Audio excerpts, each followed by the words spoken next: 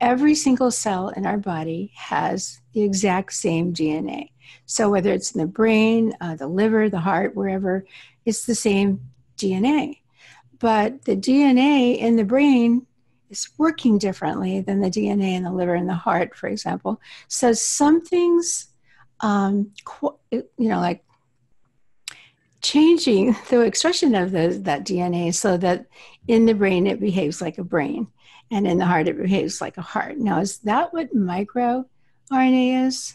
Yeah, you've got it. I mean, I think you're really speaking to the heart of what epigenetics is about, which is exciting because it's really more in the domain of what we can control through our choices. What I mean by mm-hmm. that, yeah, is if you have the same 3 billion base pairs, right, of nucleotides that constitute the protein coding genes in the human genome, right?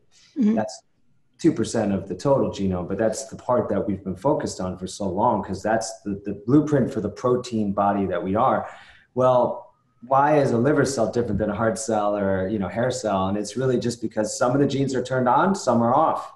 And it doesn't happen arbitrarily. It's not like you know all pre-programmed. It actually has to do with the environment, and that includes, of course, food and water and sunlight and and emotional and uh, you know sort of psychic um, energies that, that will actually change the environment of the cell. So epigenetics encompasses that realm and basically kind of tells us, wow, we have a huge amount of choice when it comes to health expression because all the cells in our body are different simply because they have different types of exposures, you know, different environments. And so, so really RNA fits into the picture because that's like a whole nother submerged iceberg actually RNAs are are so complex that we're just starting to scratch the surface of what they are.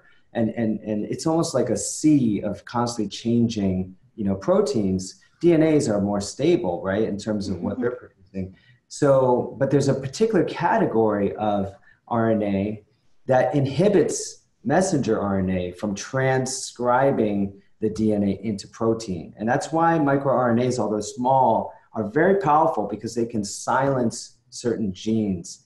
And so certain foods contain microRNAs. I have to acknowledge that it's just amazing what we have accomplished as far as even being able to tabulate all the genes, right, that make up the human genome.